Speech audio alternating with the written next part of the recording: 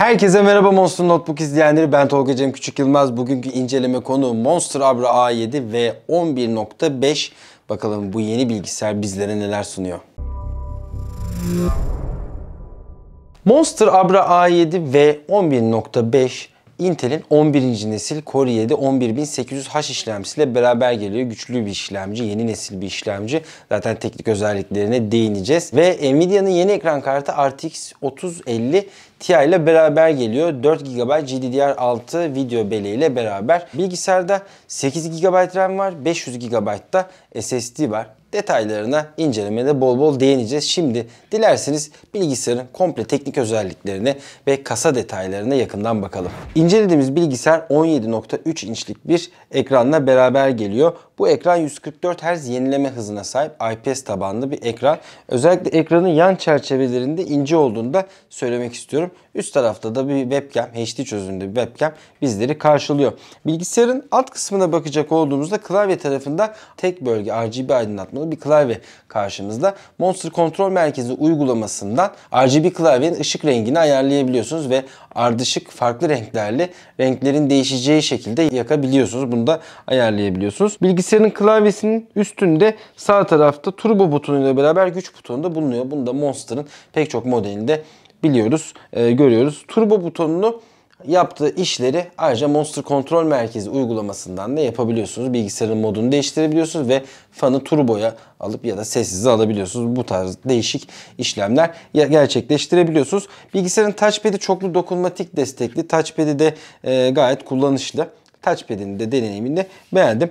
Bu kasa genel olarak plastik bir e, kasa ama özellikle klavyenin etrafında dokunduğunuz yüzeylerin e, kalitesi arttırılmış. E, özel bir kaplamayla geliyor. Bu da bilgisayarın kalite hissini daha da yukarı çekiyor. Bilgisayarın arka tarafına bakacak olduğumuzda arkadan aydınlatmalı Monster logosu karşımızda. E, bilgisayarın arkasına doğru şurada bir desenler var. Bu desenler oldukça şık duruyor. Bilgisayarın arka tarafında iki tane aktif hava tahliye ızgarası var. Aynı şekilde bilgisayarın sağında ve solunda da bu ızgaralar aktif bir şekilde duruyor. Bilgisayarın içerisinde 8 milimetrelik iki tane fan var. Ee, bu iki tane fan bilgisayarı gerçekten etkili bir şekilde soğutuyor. Bilgisayarın soğutma performansı oldukça başarılı. Zaten oyun testlerinde de sıcaklıkları göreceksiniz. Bilgisayarın fiziksel özelliklerinden bahsettik. Ee, şimdi son olarak e, giriş çıkış portlarından bahsedeceğim ve ardından e, daha detaylı donanım özelliklerine geçeceğim. Sol tarafında bakacak olduğumuzda A tipi USB 2.0 ve iki tane 3.5 mm'lik ses jack'ı görüyoruz. Ee, bunlardan biri kulaklık, biri mikrofon olarak kullanılıyor. Sağ tarafa bakacak olduğumuzda iki tane A tipi USB 3.1 bağlantısını görüyoruz ve yanında bir tane de SD kart okuyucusu var. Bizim gibi video içerik üretenler için bu SD kart okuyucusu oldukça faydalı ve kullanışlı. Arka tarafa bakacak olduğumuzda HDMI 2.1 bağlantısı USB Type-C portu. Bu USB Type-C portu USB 3.1 ve jenerasyon 2 desteğine sahip. Ayrıca DisplayPort bağlantısında USB Type-C portundan yapabiliyorsunuz. HDMI 2.1'i söylemiştim. Arkada gigabit Ethernet portu var ve bir de güç girişi mevcut. İncelediğimiz bilgisayar Intel'in 11. nesil Tiger Lake tabanlı Core i7 11800H işlemcisiyle beraber geliyor ve platform en güncel destekleri de bizlere sunuyor. Hem bağlantı portlarında en yeni nesil bağlantıları görüyoruz hem de e, kullandığımız kablosuz ağdan tutun Bluetooth'a kadar son sürümleri kullanıyoruz. Kablosuz ağ tarafına bakacak olduğumuzda Wi-Fi 6 desteğini görüyoruz. Intel'in AX201 Wi-Fi 6 destekli modemiyle beraber e, kablosuz bağlantıları neredeyse kablolu bağlantı hızında kullanabiliyorsunuz. Wi-Fi 6 destekli bir modeminiz varsa ile gecikmeler çok daha düşük bir şekilde oyun oynayabilirsiniz. Bluetooth 5.1 desteğine de sahip kablosuz ses sistemlerine özellikle e, kulaklıklara bağlantı kurduğunuzda daha düşük gecikmeyle daha iyi e, deneyim yaşayabiliyorsunuz. Ses sistemi tarafında da e, Sound Blaster Cinema 6 Plus kullanılıyor. Bu uygulamayla beraber hem ön tanımlı e, oyun, müzik, film gibi ayarlamalar yapabilirsiniz ya da bu ayarları özelleştirerek özellikle iyi bir ses sisteminiz varsa ya da kulaklığınız varsa ses sisteminden daha da iyi verim alabiliyorsunuz. Ee, Sound Blaster Cinema 6 Plus'ın e, ayarları, ayar ekranı oldukça güzel. Satın aldığınız Monster Notebook üzerinde ayrıca Dragon A yönetim yazılımı var. E, oyun oynarken oyuna öncelik vermek istediğinizde, gecikmeleri düşürmek istediğinizde Dragon A yönetim yazılımını kullanabilirsiniz. Ve şimdi donanım özellikleri ve ardından performans testleriyle beraber oyun testleri. Bakalım bu donanımlar nasıl bir performans gösteriyormuş. Şimdi Intel'in 11. nesil Core i7 11800H işlemcisiyle beraber geliyor. Zaten bundan bahsetmiştik. Bu işlemcinin baz çalışma frekansı 2.3 GHz, turbo boost'la hızını 4.6 GHz'e kadar çıkartabiliyor. Bu işlemci 10 nanometre süperfin teknolojisiyle üretiliyor ve 45 Watt TDP değerlerine sahip. Bu işlemci 8 fiziksel çekirdek sanal olarak da Hyperthreading ile beraber 16 çekirdek gibi 16 izlek gibi çalışıyor. Bu işlemcinin ayrıca 24 MB'lık artırılmış bir L3 ön mevcut. Ekran kartı tarafına bakacak olduğumuzda Nvidia RTX 3050 Ti ile beraber geliyor. 4 GB GDDR6 bellek ve 128 bit band genişliğiyle beraber gelen ekran kartı Nvidia'nın yeni Ampere mimarisinin e, kazanımlarını bizlere sunuyor. E, zaten oyun performansına birazdan geçeceğiz. RTX 3050 Ti maksimum performans diye geçiyor incelediğimiz ekran kartı. E, bilgisayarda normalde 80 Watt güç tüketimi var. Dynamic Boost ile beraber boost hızlarıyla beraber e, ekran kartı donanımını, performansını arttırmak istediğinde artı 15 Watt daha güç tüketebiliyor ve 80 Watt yerine 95 Watt'a kadar gücünü çıkartabiliyor. İncelediğimiz bilgisayarın içerisinde 2 tane RAM slotu var ve 64 GB'a kadar RAM'i arttırabiliyorsunuz. İncelediğimiz bilgisayarın içerisinde 8 GB kapasiteli 3200 MHz hızında çalışan DDR4 RAM var. Bilgisayarı satın aldığınız ekranda konfigüratörde konfigüre ederek hem RAM hem de SSD rakamlarını değiştirebilirsiniz. İncelediğimiz bilgisayarın içerisinde 500 GB kapasiteli Crucial P2 SSD kullanılıyor. Monster'ın verdiği rakamlara göre okuma hızı 2300 MB saniye, yazma hızı ise 940 MB saniye. Test sonucunda ekranda görüyorsunuz arkadaşlar normal performans test sonucunu. Bu bilgisayarda en güzel noktalardan biri toplamda 3 tane disk takabiliyorsunuz. Bunlardan 2 tanesi M2 SSD olacak şekilde bir tanesi de 2,5 inçlik SSD ya da hard disk takabilirsiniz. Mekanik diskler de olabiliyor. Ee, tamam hız olarak dezavantajlı yönleri var mekanik disklerin ama iki tane hızlı SSD alırsınız. Bir de 1 TB'lik, 2 TB'lik, 3 TB'lik bir mekanik diskle beraber not bu masaüstü bilgisayar gibi oldukça zengin disk seçenekli bir şekilde kullanabilirsiniz. Monster Notebook bu bilgisayarı sizlere bu imkanları sunuyor. Monster Abra A7 ve 11.5 incelememize performans testleri ve ardından oyun testleriyle devam ediyoruz.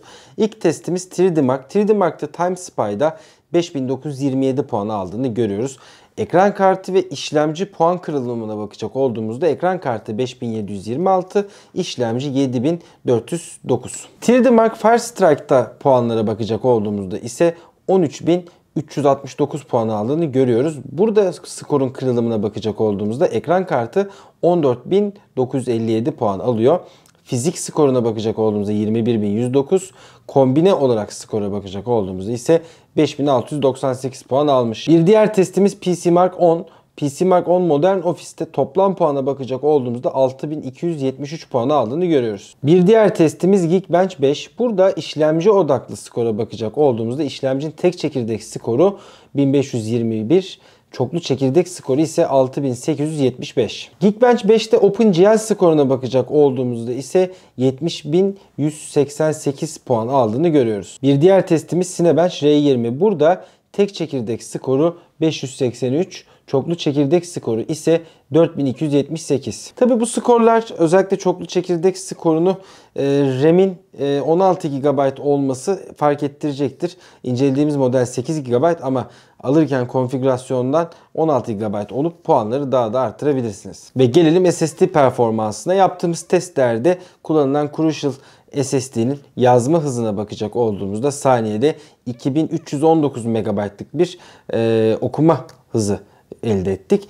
Yazma hızına bakacak olduğumuzda ise saniyede 1159 MB'lık bir yazma hızı elde ettik. Oyun skorlarına bakacak olduğumuzda Wolfenstein Youngblood'da ortalama 103 FPS, maksimum 134 FPS aldığını görüyoruz. Video ayarları über yani yüksekte Full HD çözünürlükte. DLSS ve Ray Tracing açık e, bir şekilde bu testleri yaptık. Aynı oyunda aynı ayarlarla e, farklı alanda yaptığımız testte ortalama 82 maksimum 110 FPS değerleri elde ettik.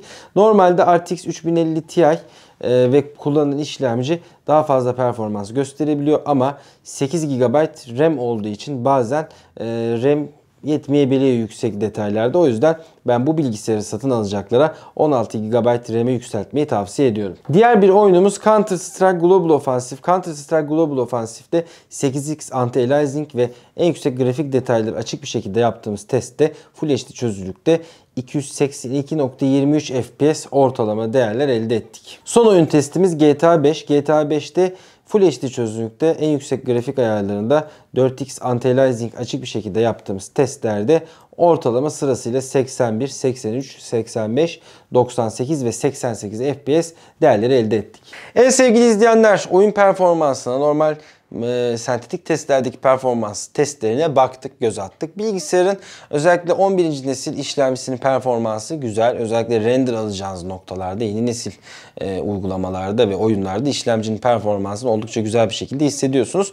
RTX 3050 Ti'nin de performansı tatminkar. Özellikle Full HD çözünürlükte oyun oynayacakları için ve render yapacakları için bilgisayarı iş olarak da kullanacaklar için de oldukça etkili bir e, çözüm diyebilirim. OpenGL'de skora bakacak olduğumuzda 66.000 seviyelerinde bir puan alıyor. Bu da neredeyse RTX 3060'lara yaklaşabiliyor. Özellikle ekran kartını iş olarak kullanacak kişiler için de bu ekran kartı tercih edilebilir listesinde yer alıyor. Onu da söyleyelim. Tabii ki de 3060 ile 3050'yi kıyasladığınızda 3060 daha avantajlı ama 3050 Ti bence güzel bir ara çözüm oluşturmuş. Ee, daha düşük bütçeli kullanıcılar için onu da söylemek istiyorum sevgili izleyenler. Videonun son kısmında bataryadan da bahsedelim. Ee, bilgisayarda adaptör, kutu içinden çıkan adaptör 150 watt gücünde.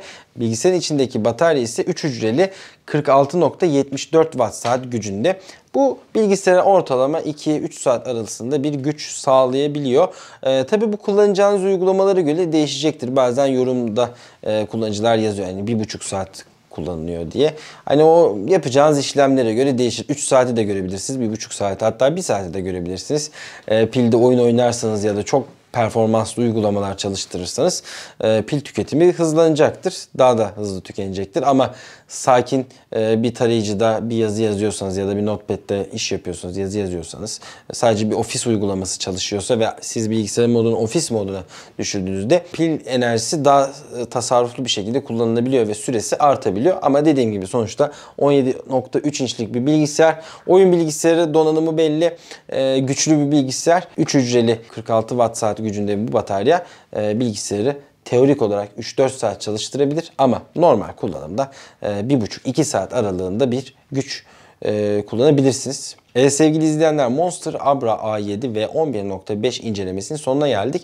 Bilgisayarın kasasına aşinayız. Hem Abra hem Tulpar serilerinde görebiliyoruz bu kasayı. 17.3 inçlik bu kasa yer avantajından dolayı da iyi bir soğutma sistemine sahip. İki tane 8 milimetrelik fanlar hem etkili soğutuyor hem de e, kasadaki hava tahliye ızgaralarının yerleri de güzel ayarlanmış. Bilgisayar çok fazla ses çıkarmadan oyun bilgisayarlarına göre yeterli bir şekilde soğuyor. Zaten oyun testlerindeki sıcaklık değerlerinde görmüşsünüzdür. E, donanımına göre bilgisayarın soğutma seviyesi bence başarılı. Genel olarak ağırlık, taşınabilirlik 17.3 inç bilgisayar için de iyi gözüküyor. Ee, benim yorumlarım bunlar. Sizin düşünceleriniz neler? Alta yorum yazmayı unutmayın. Özellikle bu bilgisayarı satın almış kullanan kullanıcıların tarafsız yorumları da oldukça önemli. Çok, sonuçta sizin deneyimlerinizi merak eden kullanıcılar da var. Biz de deneyimlerimizi anlatıyoruz. Ee, satın almış kullanıcılar da deneyimlerini anlatabilirler. Yeni videoları kaçırmamak için kanala abone olmayı unutmayın arkadaşlar. Ayrıca bildirim çanını da açmayı unutmayın ki yeni videolar geldikçe görün. Başka videoda görüşmek üzere. Hoşçakalın.